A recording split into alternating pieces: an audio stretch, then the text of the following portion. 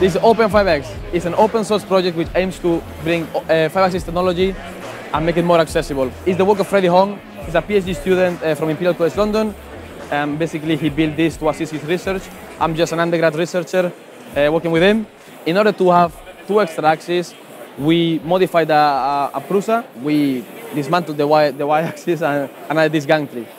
This gantry um, contains the two extra motors which allow the U and the V axis to exist. So the U motor would be, would be placed here and enables rotation and tilt of the bed, of the printing bed would sit here. And then this other stepper motor here enables V axis to exist, which is the spin of the bed. Now with these two extra axes, you can imagine that you can do more, way more complex stuff and way more complex geometry. For in terms of control, we use a Duet 2. It's just extra drivers for the extra stepper motors that we have. We have some config files and extra settings that we designed for the machine, but they are all open source as well, so you can find them in the, in the GitHub repo as well. Um, as I said also, because it's open source, we have also a list of materials and uh, all the components, and that's also on the GitHub repo. So right now we have a, a Hemera uh, from E3 Hotend. Um, the nozzle though is from non-planar XYZ, so those guys uh, manufacture nozzles for non-planar applications, obviously. We need to avoid collision, essentially, right? So having this thin nozzle, which is a 0.4, I believe, uh, allows us to, to, to, do this. It's very important to have a long, conical, very sharp nozzle, uh, and, and basically elevating and increasing the distance from the printing head to the, to the printing piece. As you can see, the hardware is there. So the hardware exists, the hardware is happening. The biggest barrier for this technology and for the project itself is the software. Uh, so we use a custom Grasshopper script, uh, which allows us to do the slicing. Uh, we, you basically input a substrate geometry and, and, a path, and it figures out the inverse kinematics, which then allow you to generate a, a G-code file. It's hard to generalize something like this uh, in terms of slicing. Right now, we, uh, we, are, we can do uh, geometry which is normal to a surface, so as you can see here, you have a substrate geometry, and then you have some path, which is obviously normal to the surface. But yeah, and hopefully by making this open source, getting community involved, we can manage uh, to, to, develop more tools uh, uh, with the community, of course. We, we, need some help from people to do this, uh, and we need people using these machines, experimenting with them, and, and creating that demand and incentive for the software tools to be developed because the, the hardware is there. It's now a matter of getting the software, the path generation and the G-code generation. All, all duet boards have um, web controls. Here I have access to all the settings, uh, all the axes, you got the, the five axes there, the temperature, etc., etc. I just upload the, the G-code and let, let, it go. So yeah, this, this is the, the controller of the printer. Now, this is the, the Rhino and the slicer. So this is the, the, preview of the Grasshopper file. Let me show you what the Rhino geometry looks like. It's, it's kind of full control. And I, I personally like that a bit more because it gives me more freedom as a designer to generate whatever I want.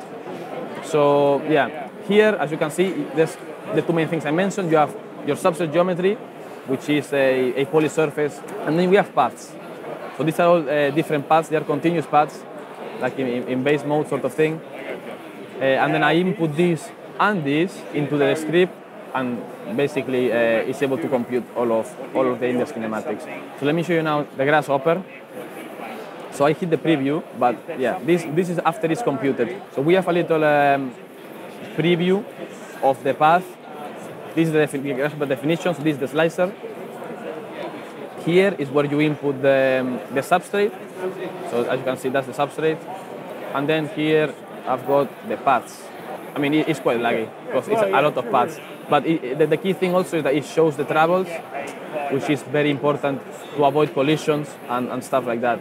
Uh, but yeah, everything moves. So this geometry is, is, is not like the one we were showing earlier. It's more 90 degrees and then building on it, but also the, the gantry in the simulation also rotates. So it's a good way of, of previewing it. The path can be generated in different ways. You can just do it manually if you want. For the propeller, I, I put, um, made the substrate, attach some sort of rectangle to it, and then using Grasshopper, I sliced that rectangle and then made all a continuous path, so it'd be like a vase. The important part though is this part. So this is the, the G-code file that you end up at, uh, having at the end. Here is the, the start G-code, temperature and other stuff, and this the end G-code as well. After you've input all of those things, then you end up with your final G-code files, which then you can upload to the Duet and print. The only drawback is that it's not open source. So you need a, a license to get Rhino, and hence a license to get Grasshopper, which is, is the current open source limitation we have. Uh, so that's why we need people to build software tools for this. Right now, um, at this current version of, of Open5X, we haven't got end stops. XY homing in, in 5-axis printing is way more important than in planar printing. You have to think that an offset on the XY, then when you're going 90 degrees, translate into an offset on the, on the Z, uh, which then creates adhering problems because your, your is too high or too close. That, that's one of the challenges that most people will face with this is finding the absolute zero on the hardware. Yes, um, so the, it's an open source project. Make sure to check out the, the QR code. Uh, you know, we want people to we want to build a community around this project. We want to have people building their, uh, these machines. We want people playing with them, developing their own software tools. Uh, you know, going into the repo, checking the bill of materials, checking the the Grasshopper uh, scripts, and, and giving it a go. Yeah, definitely. And if you're about to get into your next project and need a tool to design it in, check out the sponsor of this video, Onshape. Now, I've been using Onshape in the past, and thankfully they have committed to making their tools available to makers and creators for free. Onshape is a collaborative CAD package that completely runs in your browser, so there's nothing to install and it works seamlessly on any device that has a modern browser. Of course, you get a fully featured CAD workspace right from the start, but Onshape is also incredibly extensible with plugins that cover everything from CAM over simulation to parts libraries. And it comes with a full scripting language, so it should be possible to even create a full G-code processor for something like the Open5X right inside Onshape.